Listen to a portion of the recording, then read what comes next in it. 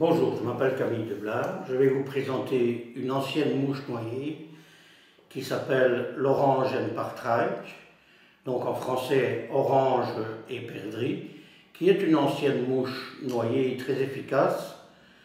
Et je m'en sers sur un train de trois mouches dans la position appelée intermédiaire, donc entre la mouche de pointe et la sauteuse.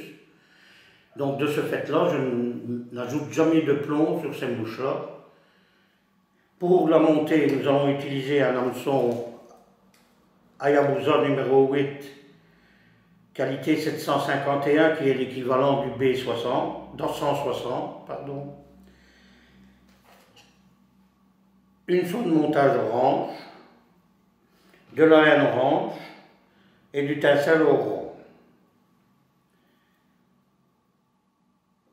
J'enroule ma soie de montage de l'œillet jusqu'à la courbure.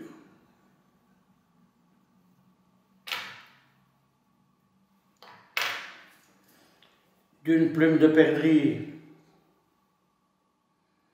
je tire quelques fibres pour réaliser les cercles de la mouche.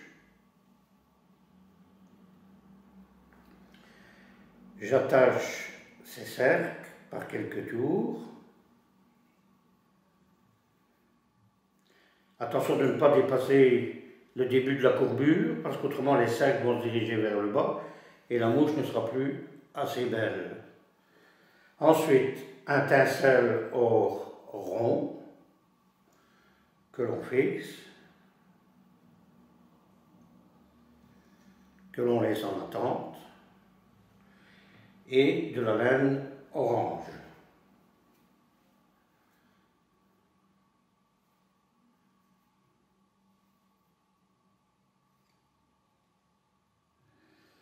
Lorsque vous avez fixé la laine orange, vous revenez avec la soie de montage jusqu'à un endroit après l'épaule. L'épaule en fait est située à l'endroit où on va attacher le ou les derniers matériaux Ensuite, on fabrique le corps avec la laine orange.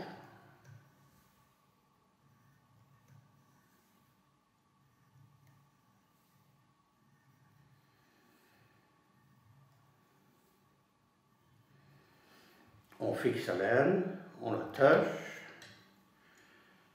un ou deux tours.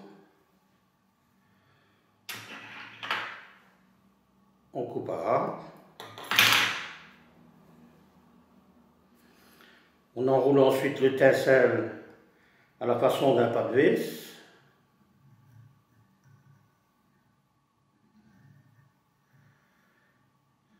Trois ou quatre spires, c'est suffisant. On attache.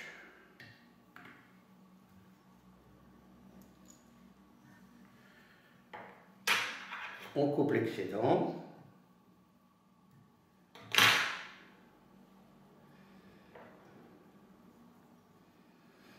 Ensuite, on prend une plume de perdrix grise, on enlève les duvets superflus,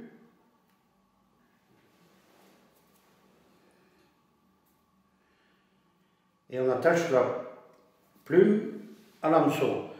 J'attache toujours mes, mes, plumes de perdrix ou autres qui sont assez fragiles. Par le, par le côté de la racine, la mouche sera beaucoup plus solide.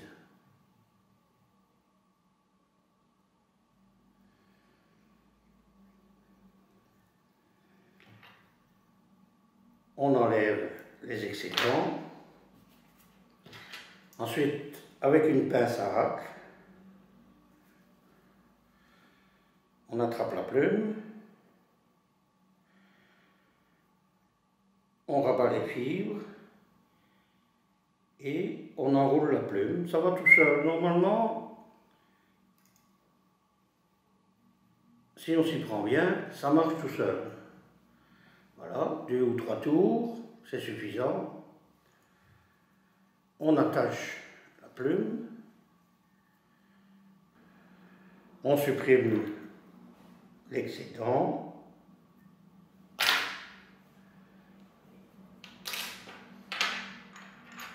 On fait une demi-clé.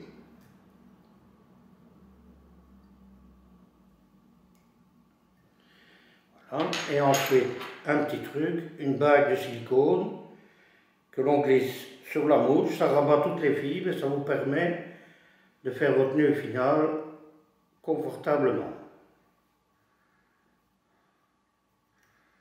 Voilà.